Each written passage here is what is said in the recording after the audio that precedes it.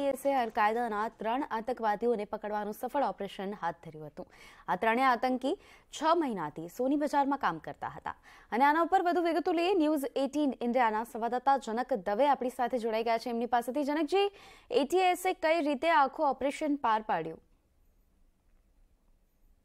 Gujarat ATS દ્વારા એક મોટું અને સફળ ઓપરેશન પાર પાડવામાં આવ્યું છે. અલકાયદાનું એક મોટું આતંકી જે નેટવર્ક જે ગુજરાતની અંદર છેલ્લા કેટલાક સમયથી ચાલી રહ્યું હતું, એનો પર્દાફાશ કર્યો છે ગુજરાત એટીએસે ગુજરાત એટીએસે રાજકોટથી ત્રણ સંદિગ્ધ આતંકવાદી જે અલકાયદા માટે કામ કરતા હતા બેઝિકલી બંગાળ સાથે જોડાયેલા છે, એમનો નાતો અને અહીં સોની કામ કરવા માટે રાજકોટ આવ્યા હતા. પરંતુ એ સોની કામ કરવા માટેનો જે ઉદ્દેશ એ માત્ર ઢાંક પીછોડો હતો.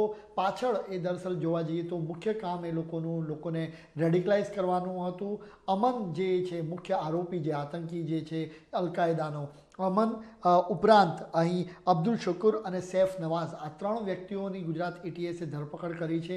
આ ત્રણેય વ્યક્તિ છેલ્લા કેટલાક સમયથી જે અંદાજ છે એ પ્રમાણે છ થી આઠ મહિનાથી રાજકોટના સોની બજારની અંદર કામ કરતા હતા અને રાજકોટમાં જ રહી રહ્યા હતા. એમની પાસેથી એક વેપન પણ બરામદ કરવામાં આવ્યું છે. ગુજરાત એટીએસે અને એની સાથે કારતૂસ પણ મળી આવ્યા છે. અને આ ત્રણેય વ્યક્તિઓ છે લાંબા સમયથી અહીં રહ્યા બાદ લોકો જે એમના સંપર્કમાં આવનાર તમામ વ્યક્તિઓ સાથે એમને રેડિકલાઇઝ અને કટ્ટરપંથી બનાવવાનું કામ આ લોકો કરી રહ્યા હતા. હવે ગુજરાત એટીએસ આ ત્રણેય વ્યક્તિઓની ધરપકડ કરી છે અને એટીએસ પાસે આ એક હ્યુમન ઇન્ટેલિજન્સ હતું. આના પહેલાં પણ ગુજરાત એટીસી અલકાયદાનું અમદાવાદથી જ એક મોડ્યુલ બસ કર્યું હતું અને એમના જે પ્રીચર છે એ વિદેશમાં બેઠેલા હોય, અલકાયદા ઇન્ડિયાના નેટવર્ક સાથે જોડાયેલા હોય અને એ એમના જે પ્રીચર્સ છે, જે મૌલવીઓ છે, એમના સંપર્કમાં આવ્યા પછી આ એક બીજું નેટવર્ક છે જેનો ગુજરાત એટીએસે ભંડાફોડ કર્યો છે અને હવે આગળની કડીઓ એમની સાથે કોણ છે?